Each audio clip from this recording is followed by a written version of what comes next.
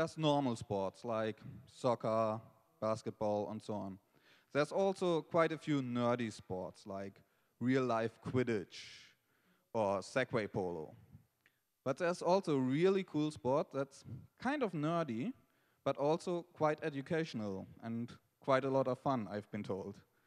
So now Bruno Oliveira will tell us all about this Capture the Flag. Please give a big applause for him.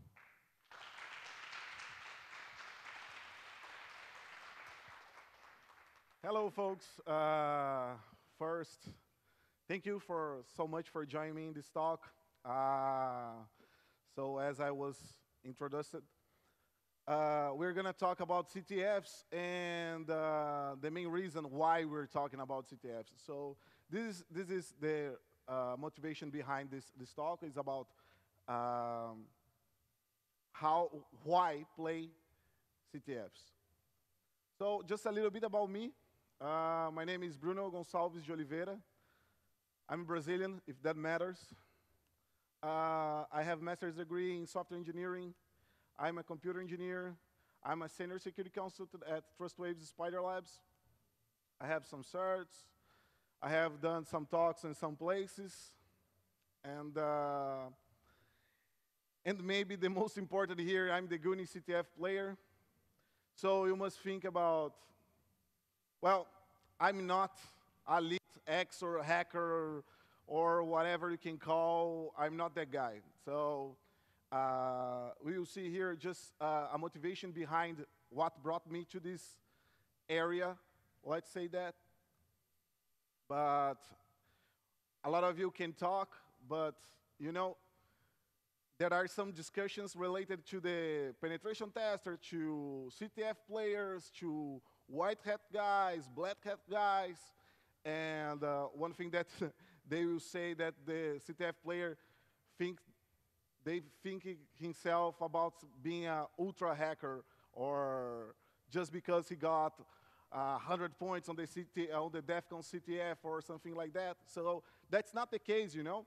Uh, what I want to show you, it's much more than this. It's much more than points. It's much more uh, then of course technical stuff is the base of everything that we're going to say here.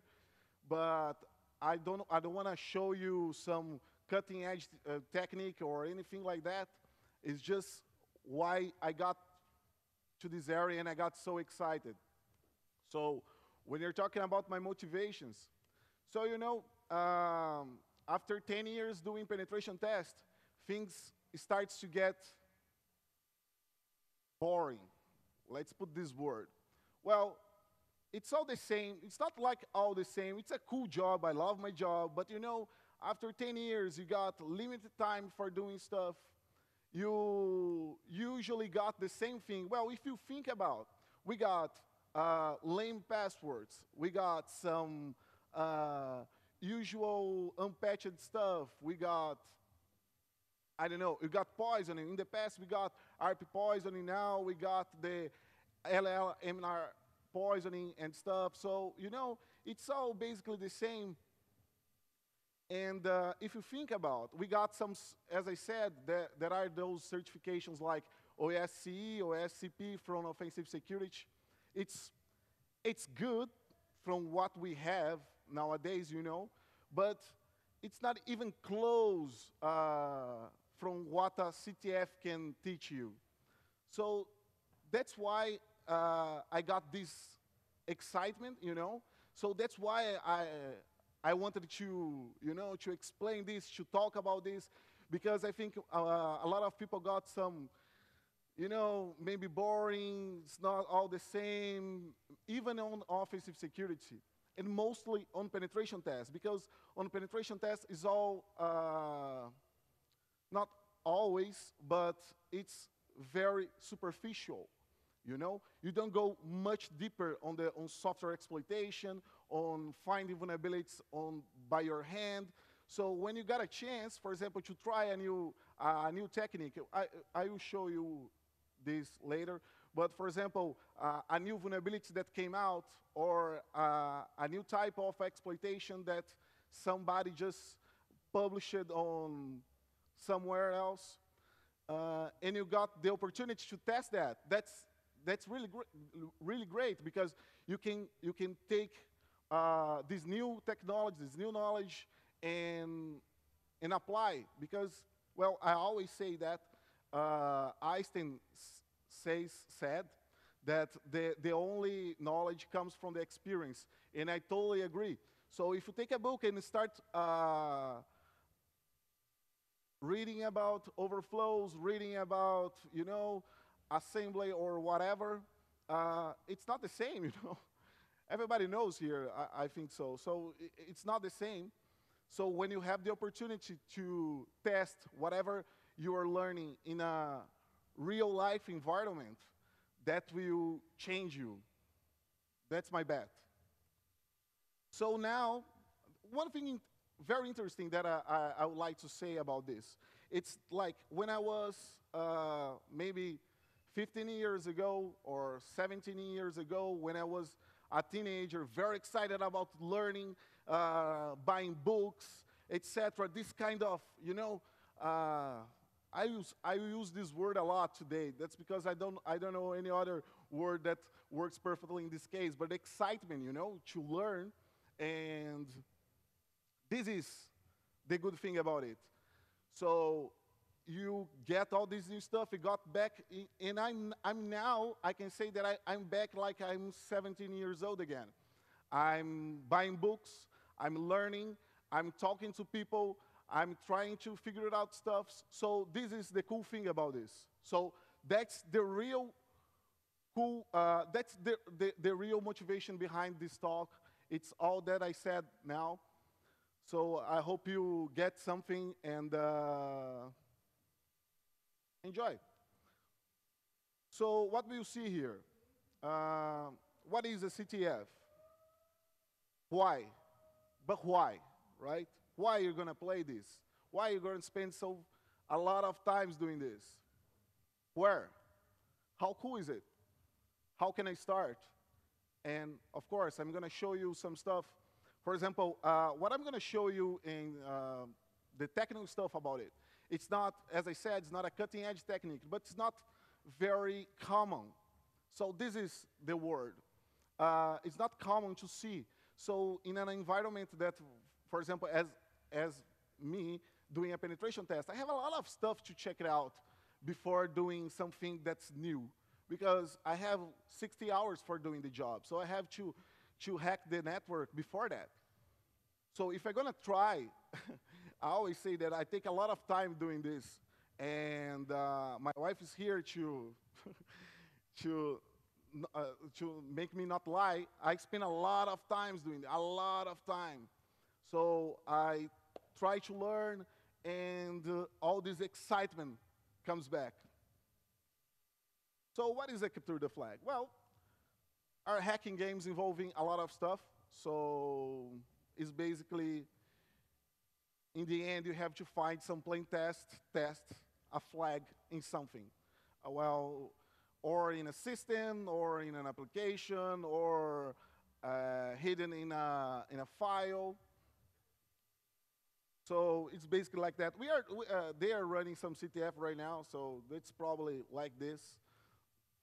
So what are, what is, what are the CTF are about? So it's most forensics, crypto, web exploitation, reverse engineering, and low-level exploitation. So how, how we get it started?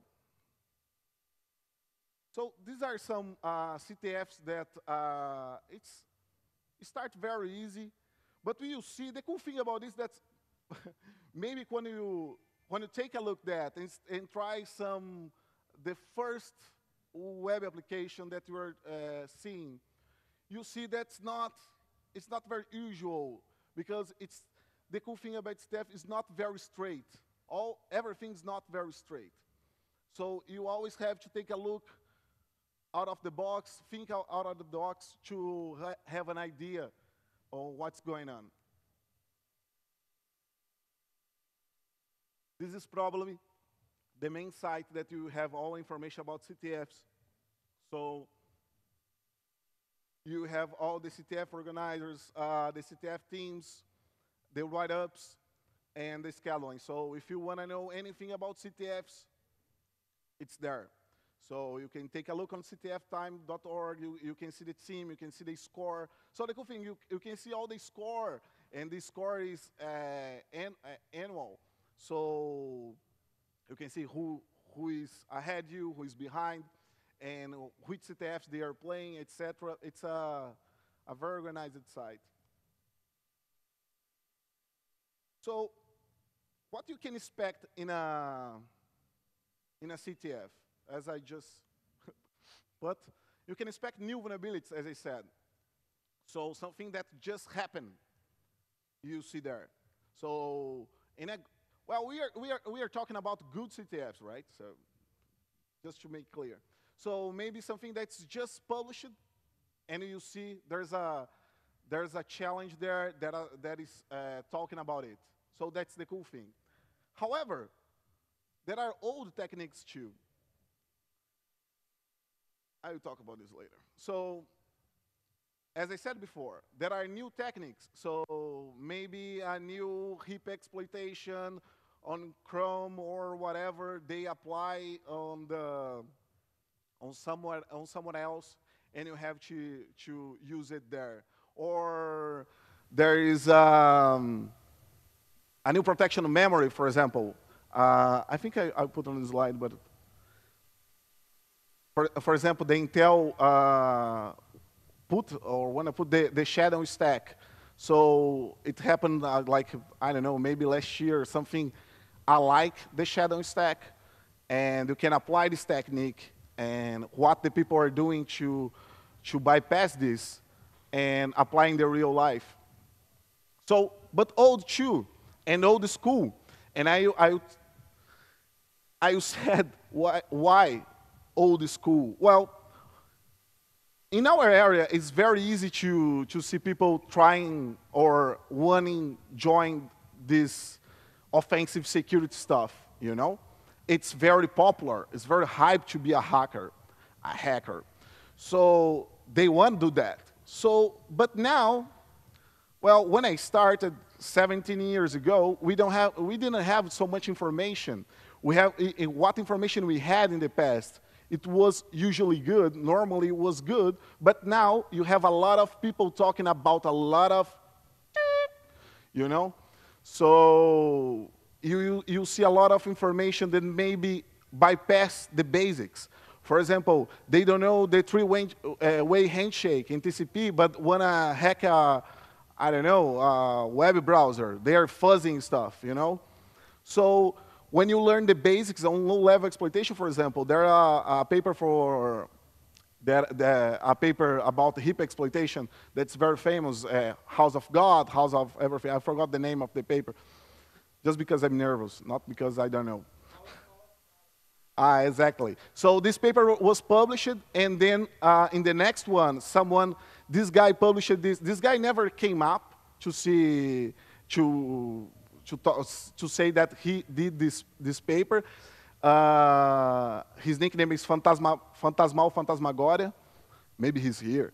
So, and, uh, and the next one, they published someone, he, he, he didn't put any uh, proof of concept of his techniques, just the techniques. And the next Phrack, someone uh, published the Malloc Des-Maleficarum, right? So in this paper, there are POCs and etc. This is, it's a, a very nice paper to read. So if you want to join the low-level exploitation, it's the basics, you know? So that's why uh, old things are cool too, because we need to, uh, we need to understand the basics before anything. So as I said before, uh, new vulnerabilities. Uh, last, last year was released some vulnerability in wget, and one month later, or in the same week, I don't know, there was the Secuinside 2016, and there was this vulnerability to exploit. So, you know, you can try. That's, that's the thing. That's the cool thing about it. Uh, you just saw the, pub, the, the paper, and you can apply your knowledge or try to exploit utilizing this knowledge. That's cool uh, I was uh, talking about the Shadow Stack. So in Tokyo Westerns MMA 2016, there was a, a challenge about this, and it was very nice. It's just, you know, so you have all this information that you can get from these challenges and apply and, and learn, you know. Well, I put some, uh, let's say, tips here and how to get started on this area, on games. So for getting started on exploitation, you mostly need a web server to monitor requests and burp. Well, you can crawl, you can brute force, you can uh, check the requests and responses uh, live, right? So this is a cool thing. Uh, headers, etc., cookies. So you, when you were talking, I'm not, as I said before, I'm not an expert in nothing.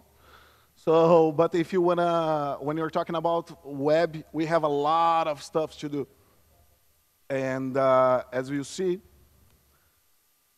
on web exploitation challenge, we must see uh, some restrictions. For example, this is some uh, few challenges during the web exploitation. So we have restrictions of space. So, and you can use that. For example, you have remote uh, command execution, but you can use this way to bypass the space filter. You have, well, cross-site scripting. Cross-site scripting uh, is probably the most fun uh, because there are a lot of stuff that you can do with cross-site scripting and it's not just for the alert. So when you're doing a penetration test, maybe, uh, just, ah, I'm just take the proof of concept uh, an alert and it's good to go, you know? But there, if you wanna, if you wanna see the, the, flag, you have to go ahead. SQL, SQL injection, well, this is not work, sorry.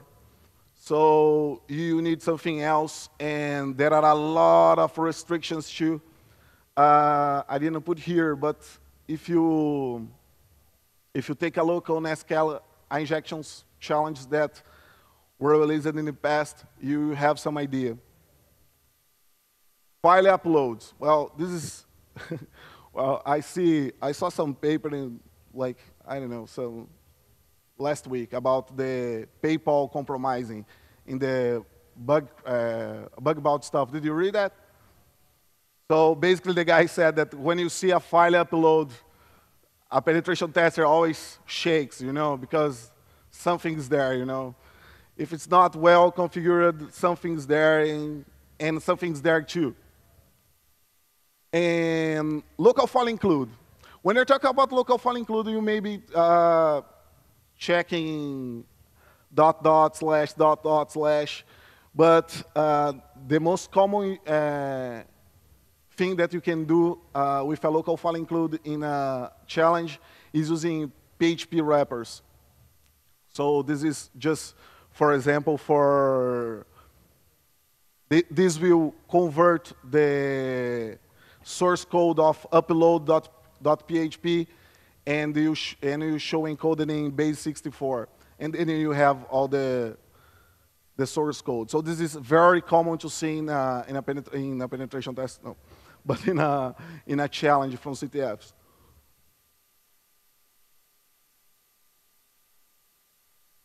So what I can say about uh, exploita web exploitation is about this but uh, of course, there are a lot of stuff, a lot of stuff going on.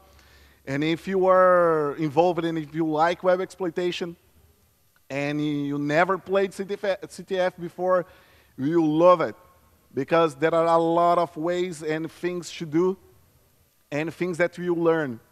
And that's the important thing here, that you learn. And even if you know this stuff, I would say, I would say share. So someone said before, share is caring, share is care. So this is the stuff. So why not just publish a, a write-up telling how you did it and, and share with the community, you know? Somebody else can take this information and learn something from there. So it's not just about learn, but it's about teach too. And I have to say, um, I got started on this area really raw on the low-level exploitation. And I have good friends behind me uh, on the team that I didn't know, but I was invited to the team. I started playing, and two guys were like really rock stars on a low-level exploitation, and are really teammates, you know? They helped me a lot, and when you, if you join a team, for example, just for playing or for learning, teaching, whatever, you have, it's good to have somebody else for take you in this journey, you know? Uh, it's really hard to learn by, by ourselves because, as I said before, the information, now we have so much information about a lot of stuff. And this makes everything harder because we don't know what information we can trust and how it's written, etc. Every, everything involves that. So, about reverse engineering, some essential tools. Well, disassembler, IDA Pro, basic, I really like Binary Ninja. Radare 2 is just for elite people.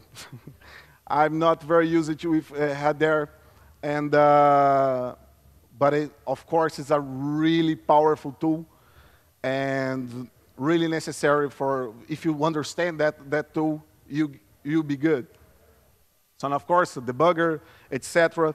I put there OllyDBG, WinDBG, GDB, just to make examples, but one thing that I will say in, uh, in the final is that we don't have so many Linux, Windows exploitation or reverse. So that's a shame. We know, I, I, I forgot the, the, the CTF that, that I, I was playing before, and someone put a, a Windows challenge with really high points. And uh, in the description said, don't be afraid of this Windows environment. We put a lot of points just because it's a Windows, you know. And you, if you take a look in who solved this challenge, just few teams. Just because, well, we have to normally have to put an environment like, a, uh, you know, install a new Windows or whatever. So maybe this is the uh, an issue for doing the, the, the challenge. And not now, but now is uh, is being very used, uh, is being used a lot. It's symbolic execution. Well, if you take a look about symbolic execution, it's about uh, running the application with symbolic inputs. So what, what does it mean? It means that you don't know uh, whatever uh, you are inputting, you're trying to solve constraints in the execution flow. In our case here, this, this symbolic execution, it's a term that's used, uh, it's very, it's highly used in the software engineering, but it's now being applied a lot on the, on the security, and uh, it's about it. So, mm, no, I, it's not here. Well, but it's simple. It's uh, you have to go in a way. You have two ways for going, uh, or maybe 10 or maybe 100 uh, ways for an execution. So if you open an IDA Pro and open an application, you see a lot of jumps, and these jumps go to different places. So what happens if you go there, you can imagine an application that there's, um, I don't know, uh, maybe a menu, uh, and there's something hidden there, and, and you have to put a big number or a special word to go into this jump. So this will help you to solve these constraints on the software. We have uh, a lot of framework uh, going on, and, uh, and this tool is really awesome. So I'm going to show you real fast. But if you want to take a look on this later. So of course, reverse engineering is all about assembly. So you have to take a look on data, functions, and jumps. So no, no mystery here. So this is just a sample, right? Um, here we have this function that creates uh, a key, and there we have something else.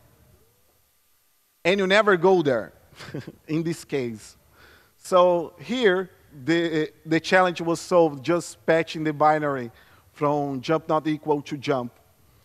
So a little simple stuff, but there's, in the past was a lot of using in the crack stuff. When you're cracking some software, this is highly used. Just patching a jump or one or two, and you're good to go. So this, this is one challenge. This, this was one challenge. Uh, so I, I, I, wanted to put some sample here. So we're talking about this, uh, this challenge from Google CTF from last year, Unbreakable. So it's, um, it's a tool that you have to put the key, the right key there to generate uh, a valid product key. So you have to put a password or whatever, and then you generate a key for you. So if you put there something like that, you have the you have some failure message, etc. However, if you go here and take a look on the code, so here it's open with the binary ninja. And uh, if you go ahead, you see uh, the function that's called when the product, the, the, the activation fails. And then, so note here we have the function in the end 50, and we have the when the when this function is called, it's because the, the, the product was activated successfully. So we have two functions uh, that you can easily see when you disassemble the, the software.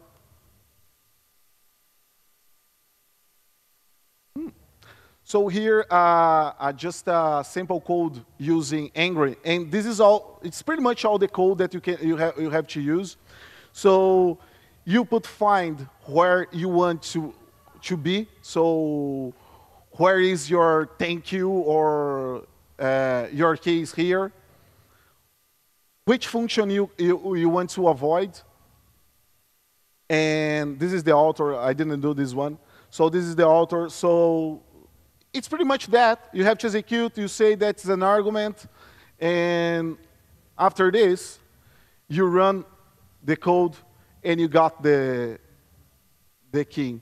So you can see that it's, a, it's, a, it's very cool because it just made some twist on the reverse engineering stuff because you can just put whatever you want and where you want to execute and try to find a way to be there. This is, uh, there's no verbose message here, but when you put that in your code, you see a lot of attempts, what, what it's attempting and whatever, just to get to the message. So uh, this is it about the, the uh, I just wanted to put about uh, some sample from uh, using symbolic execution because it's been used a lot. Actually, uh, a plugin that won, that's like plugin of the year from IDAPRO last year was a very cool uh, plugin using symbolic execution and it's all click it, I want to hear, I want to hear, make it for me. So it's ridiculous. So if you, if you are interested on reverse engineer, uh, just take a look on this tool. I just forgot the name as well. Pom? Ponce. That's cool. That's, that's true. So it's Ponce. So take a look if you are curious about it. So if you want to get started on low-level exploitation, uh, some essential tools. GDB, of course. I always say that GDB, it's the, the first time that I saw a GDB in my life, I said, how people do it? It's like, it's disgusting. Uh, you don't have anything, it's very, very hard to see stuff. But now we got some, a better interface that you can use as GEF. And by the way, this guy uh, that made GEF, it's in our team. He's really awesome. So, and this tool is really, really awesome, really, really awesome.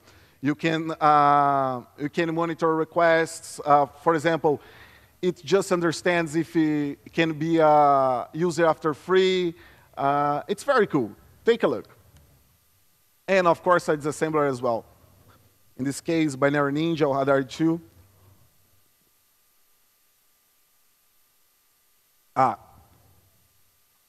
If you're not familiar with Pound Tools and you want to join and you want to um, start with this thing, you should take it. It's, uh, it's a lib for Python that you have a lot of uh, handy stuffs for doing exploitation, software exploitation. So it's enumerous. You have a lot of stuffs there. Uh, so if you're doing, if you want to join the low-level exploitation, take a look on this and you'll be happy. So when you get started, what you should see? Well, first thing, check uh, for which architecture is compiled, the, the binary, if it's 32 or 64 bits. Security, check uh, if it has PI, uh,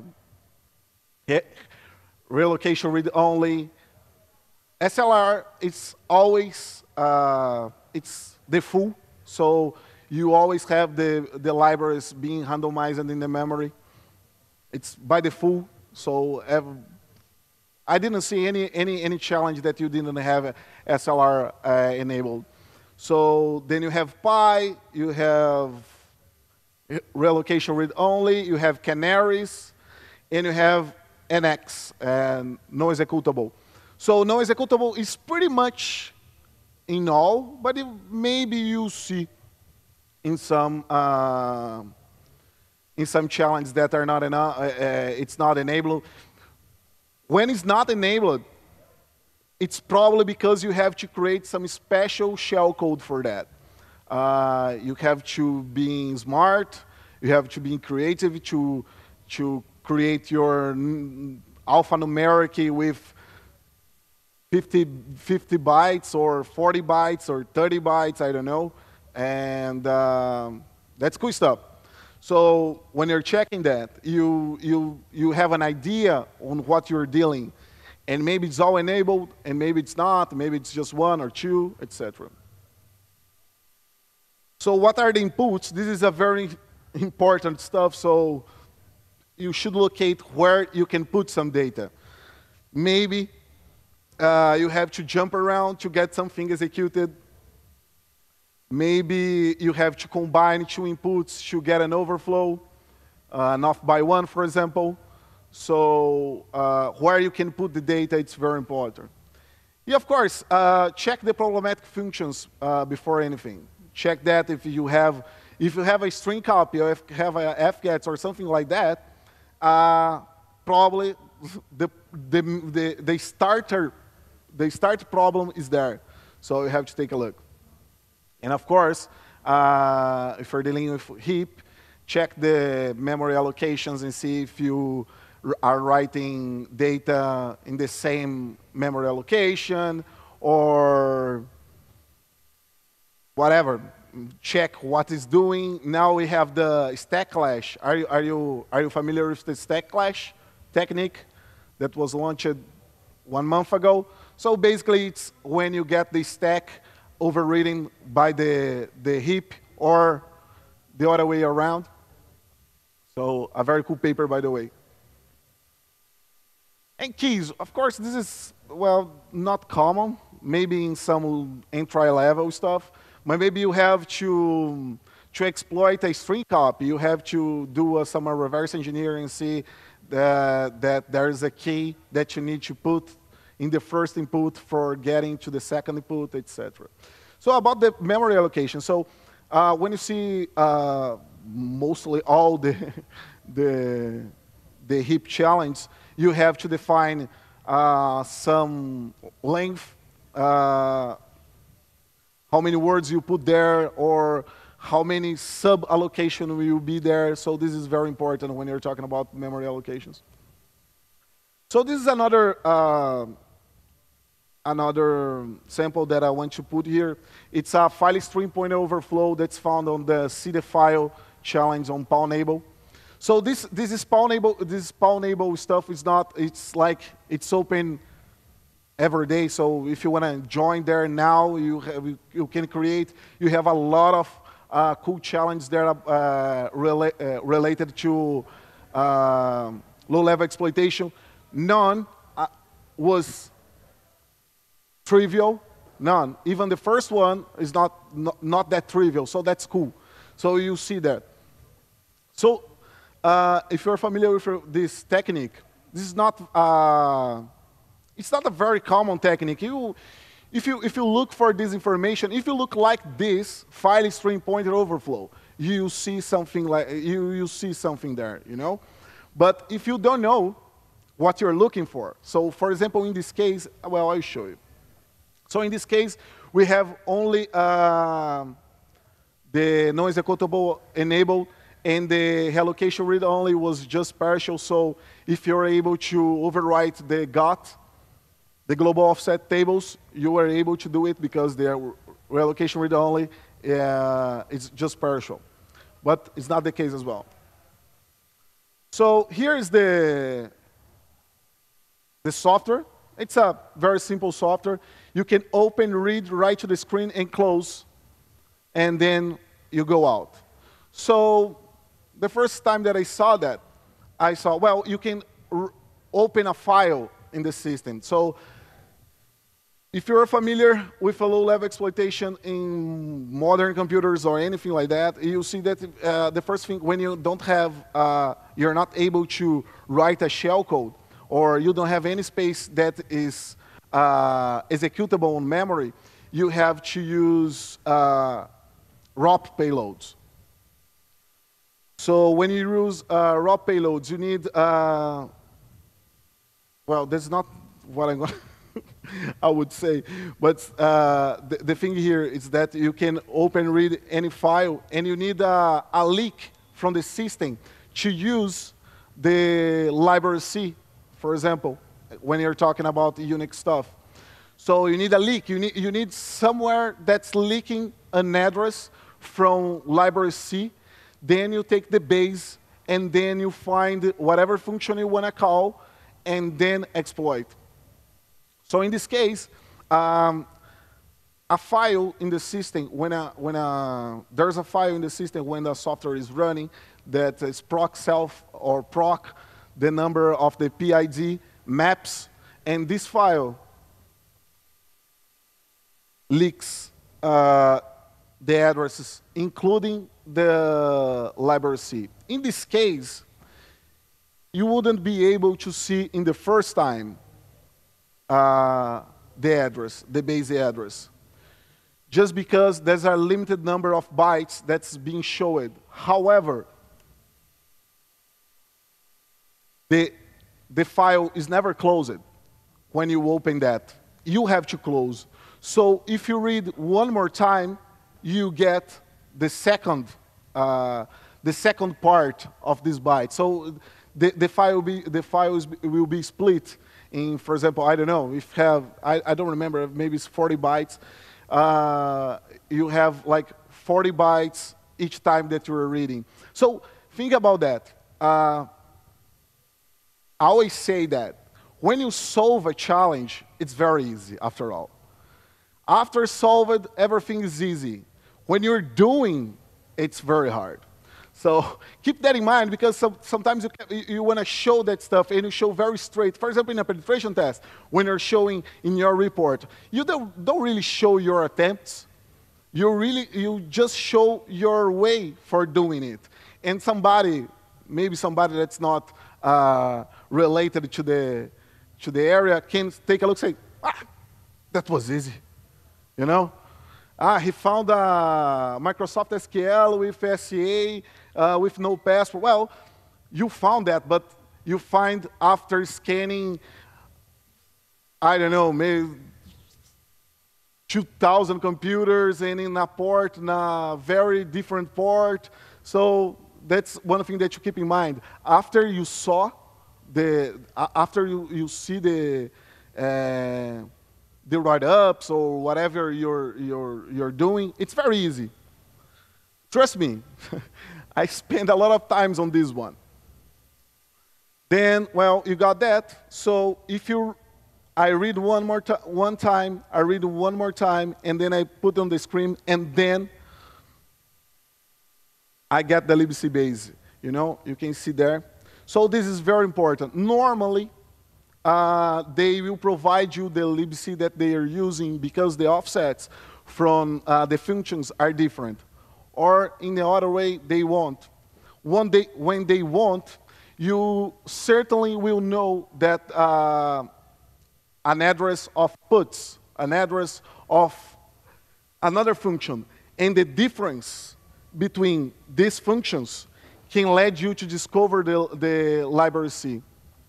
So this is one thing. So then we have the leak. So now we have to find the vulnerability because in, in, in, this, in this challenge, the leaking was not really the problem, but uh, in the most of challenges, it is. Uh, the leaking is part of the problem, so not in, in this one. So here uh, we have uh, fscan, uh, scanf, and a fclose there. So we know that scanf is dangerous. In this time, I, I can overwrite the f close argument in this section, in this, in this software. So what I can do from there. So that's the point. This was very easy. If you take a look, you go ahead and open a file, try a billion bytes, and then you go to read, try a billion bytes. You know, every space that you have to put bytes, put it and, and, and try it. So in this case, was in the exit uh, menu uh, when you put a long, uh, a long input, you overwrite the fclose. So from there, after spending some few days, I mean, I think so, I don't know. I discovered that. So when you're closing a file, um, you have a file, a file structure in the, in the memory that contains uh, mostly where the data on the file is and some headers and some stuff from this, uh, from this file and a lot of stuff. And one of this stuff, it's called I.O. file jumps. If you take a look in a file structure in, a, in memory, you see all this structure and it's calling in the end the structure I.O. I.O. file jumps. These, uh, these file jumps, it's a function in, in library C. So what you can do from there. If we overwrite this function, what we get it.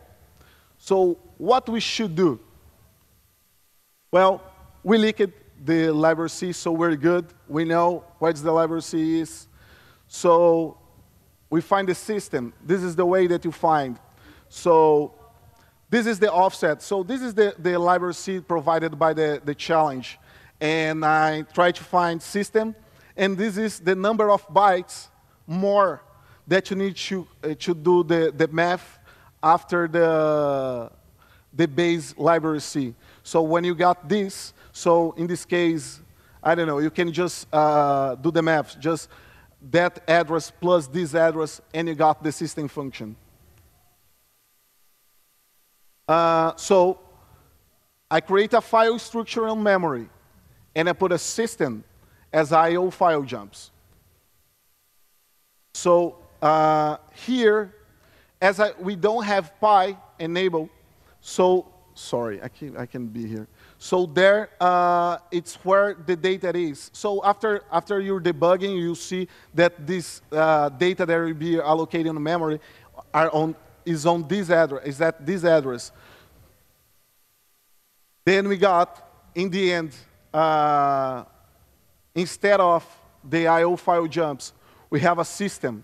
So we, have, we are calling the system function instead the file jumps.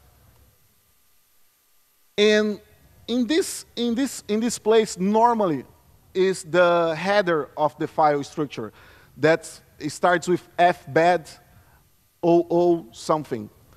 So in this case, this, uh, this data will be allocated exactly on, uh, SP plus 4 bytes. And uh, when you check that, you see, so what we did here, uh, we create, we, we, we trigger the overflow. And then we can overwrite the address that we are, that we will be using in the close. So this address is this address just, just uh, below the 32As. Then we got the, the file structure. So this is the file structure that we're dealing, the, the three last lines. And our file structure says that our I.O. file jumps, it's a system. And our and the argument for, the, for this is the slash bin slash bash. So in the end, you get executed and you got a shell. So this is uh, what I was talking about. Uh, we need to, this information was very helpful to me to understand a lot of stuff. And maybe just giving a talk fast like this, you don't get the point. It's not, it's not getting the flag. For me, it's not just getting the flag, but it's, it's, it's trying to understand what I don't know. And this was a, a case like this. I didn't know about this kind of overflow. I didn't know how to, to exploit this stuff, and I learned it. Some uh, cons about the CTF, guessing. So in a lot of CTFs, you, you have uh, some guessing stuff. So something that's not technical, you have to guess. Well, it's not my thing, and most for the most of the CTF players too. So that's not the thing I, I, I like and nobody likes actually. As I said before, 99% of the it's Linux for exploitation, so you don't have a chance to to deal with this uh, Windows stuff or new, new techniques involving Windows. So that's a shame. Well, put here self-disappointment because when you lost 40 hours of your life doing, trying to do something that you can get it, man, it's hard to swallow, you know? But in the end of the day, you see that you could learn, you, you saw a lot of stuff, but this is something that you, you have to, you know, to wait. And sometimes are very hard. Uh, so 72 hours will not be enough for a common guy like me, you know. So that's it. Uh, lessons learned from here. To me, it's about learn, learn, learn, learn. Share is care. So take a look in what you're doing. Try to uh, spread your word and share what you learned and what you're doing. That will be helpful for someone. This is pretty geek, but having fun and knowledge, well, you know, I'm not this kind of a very geek guy, you know, this guy, I drink, I smoke, I do a lot of stuff, you know, but I have a lot of fun with CTFs. It's really good. And as I said before, well, I don't know if I put, well, I put here, in conclusion of that, uh, I could go back to my roots, you know, where I came from, where, why I'm in this area, why I'm doing this. Because in the, in the beginning, it was like I was very excited, I want to learn, I want to do stuff, and then I got a job, you know. You have a family, two kids. You're doing your job, you know. And job is always job. You know, you can have the most fun job in the world if you have a boss and you have a, or you have a client, it's a job, you know. Uh, in the end of the day, uh, maybe you're not that uh, happy with what you're doing. So when you got this free time and got some space for doing whatever you want to do, uh, it's cool. And in my case, I got back to my roots. I got back to to learn, to read, to exploit, to pow. So that's the, that's, that's the thing. Knowledge is really fun again. and Poundage is pure excitement again. So, you know, we are in the in a penetration test, you got like, you know, domain administrator, you got everything pounded. You know, and this got me back that now when I see a Poundage, you know, you really, wow, it's beautiful. You have to uh, to understand and, and to see how how cool it is, and that made me better on job as well. So sometimes I was, you know, I have 40 hours. Eh, I found this, I found that, and now um, I, I, have to say, in the, in the last in the last years that I was not playing, and after 10 years doing the same thing, I was like, you know, eh, doing the job. But now the, the thing changing, you know. I, I mean, I'm another person related to that, and that's uh, and that's cool. So some resource, uh, step time again. Uh, you can check that, that later. This, this is a, a video cast, if you can say, uh, from Captain, uh, Dragon Sector Captain. He shows a lot of good stuff there. So if you want to take a look on, mostly on uh, low-level exploitation, this guy is really awesome. We have Live Overflow. Live Overflow is a little bit superficial, but you can start it with it. So, so this is it. You have any questions?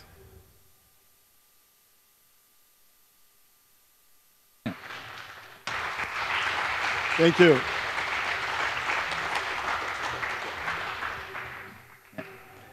Yeah, thank you for this very exciting talk. I guess I know what I'll be doing the next few weekends. Good. thank you. So now we have about 10 minutes left for some Q&A time. Are there any questions? If there are, yeah, there's already someone uh, lined up. If it's okay, a technical question. So uh, when doing binaries, uh, how do you deal with the GDB offsets being different than when running the binary normally? Because, um, like, let's say I have the address of a variable at somewhere, but when I load it in GDB locally, it's always different. It has oh, to do yeah. with the name, with the environment variables, and so on.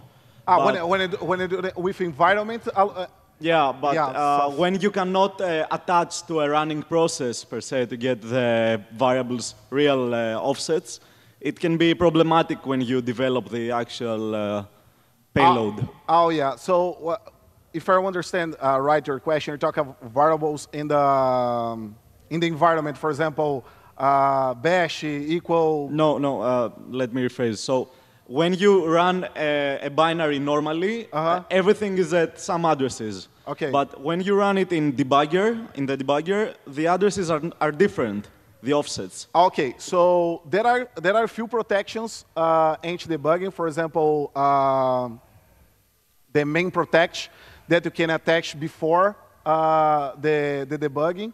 So or you can using a LED preload, for example and using another, another library to, to start your software. For example, uh, if we're talking about uh, Linux and you start, uh, you, can, you can create a binary that will be loaded before the, the software. With LD preload. Exactly. That will bypass the protection. It's one of, for example, it's a, it's, this is a very old protection, by the uh, very old bypass, by the way. So nowadays, uh, I don't really know which, uh, which another protection in Windows we have uh, a lot of stuff going on, and I'm not very familiar. But in Unix, I'm not, I'm not very familiar with others uh, protections. But one way to do it is using LD preload. So okay. you, comp you compile uh, with a binary. If you take a look at LD preload, bypass, debugging stuff, you see a lot of binaries that do this, this job. Okay, and is it okay to do one more?